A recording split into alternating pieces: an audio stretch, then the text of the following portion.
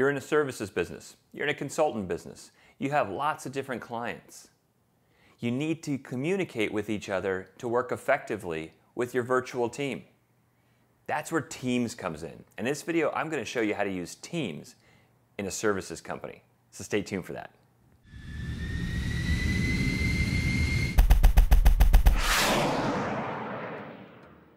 Microsoft Teams is a collaboration platform that companies like ours use to keep everybody in sync and communicating with one another.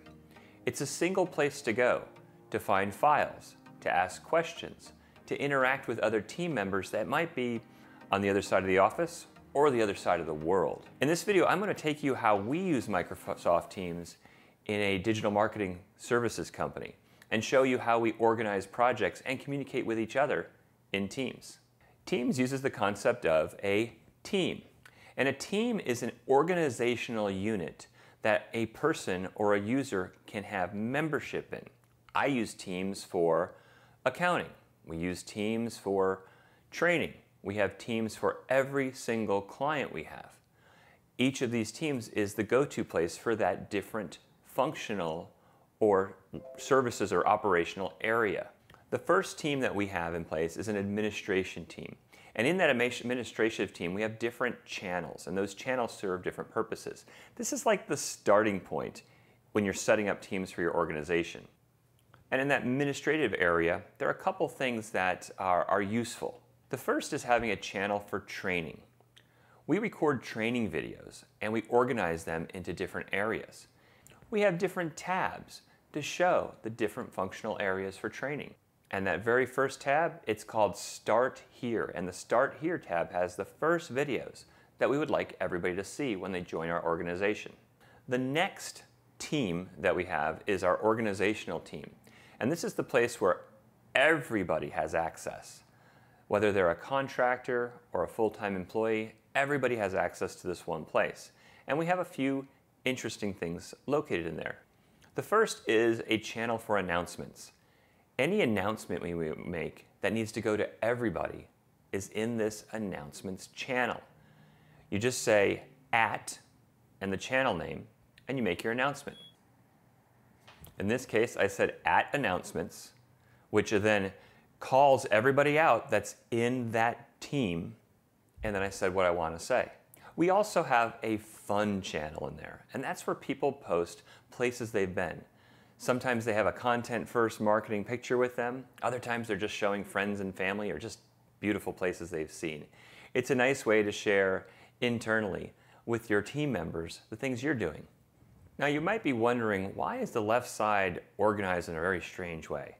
When you have your own team's environment, you can choose how to organize the left side. It doesn't just show up in a specific order, you make the order. And so I have things in different places based on how I use it. The other thing is we have pinned channels so that at the very top of the left side, you can pin a channel that you use frequently. I do that oftentimes when I'm working on a handful of projects. I have that main channel for that project pinned. And then when I'm done with that or it's not in heavy rotation, I unpin it still accessible, it's just not in the upper left-hand corner. We have finance, we have many different groups of people, either in delivery or in administration. And we have a team for each of that. And the reason we have that is for people that have like positions, that is, they're all editors or they're all writers, they can go to the main channel in that team and they can ask each other questions. For example, if I'm an editor, I might go to the editor's team and go to the general channel and I might just ask a question. And so what I'll do is I'll type in at channel, and by typing at channel, it'll convert it to general. And then I might put a question in there or something that I want to discuss. If I do at channel, every single person in that team will see that you have an inquiry. And the way they see this is on the left side of the screen where it shows activity. There will be a red circle with a number in it. And that number is how many messages that person, that user in Teams, has been called out. So if somebody does an at general in a channel, you're going to know that occurred. If somebody calls you out by name, you're going to know that occurred.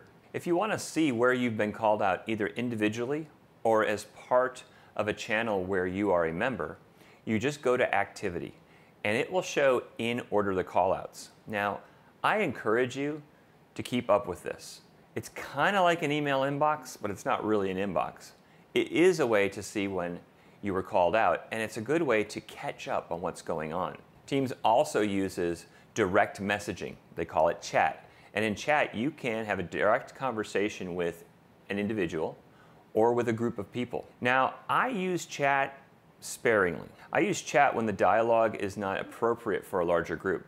But if we are having a conversation about a client, I don't really want that in chat. And the reason I don't want that is because the other members of the team for that client don't get to see the conversation. I would rather go to the client's team in the general channel and then have the conversation with an individual, which does lead to the next type of team. That's a client team. We're a services company. We're doing work on behalf of clients, and we need to organize that work into teams. So, for example, the Content First Marketing team has members in it, and we have channels for each type of project we're doing. We use the team for the client, and we use the channel for the type of services. All of the teams have a general channel.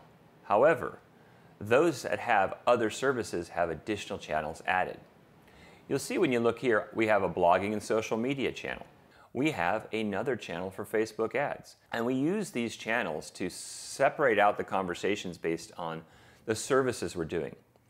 That being said, anyone who is a member of the team can see what's in the other channels. So it allows people that are maybe not a part of the Facebook ads effort to still go and see what's going on there because they are a part of the overall team. So if I do need to ask somebody a question and it's in a team for a specific client, and I don't want everybody to answer, I'm not going to say at channel, I'm just going to say at and their name. So for example, I might call out John Arnott Sr. and do something really simple there. So I've called out John Sr., I said let's discuss it at our next meeting. Well, what's he going to do? When you run a virtual company and everybody's working from different places, communication can get lost. The cues that we give each other in face to face settings are lost. How do you handle that with something like Teams? You use an emoji. So when John Sr. sees this message, he's likely going to use one of these emojis to acknowledge, hey, I saw that. Now, when we conduct meetings, we usually do those in Teams, and we use the calendar to do that. It has a really good scheduling system, and the calendar is a great way to set up a Teams meeting and invite the people you need. For example, I might create a new meeting. And in that meeting, I may want to make sure I have certain people attend. So what I'm going to do is I'll go to my required attendees. I'll pick John Arnott Sr. And I see he's free for this meeting today. Oh, or say he's not available. I can click on Scheduling Assistant, and then I can actually see all of his available times. And this is very useful for putting together team meetings. And once that meeting is created, we can collaborate on Teams. There can be a call-in number. We can share a screen. It's all tightly integrated. So whenever you schedule a meeting with somebody, use Teams to schedule a Teams meeting, invite the individuals that need to be a part of it, and make sure to use that scheduling assistant so that you know when they're available. I would encourage one thing.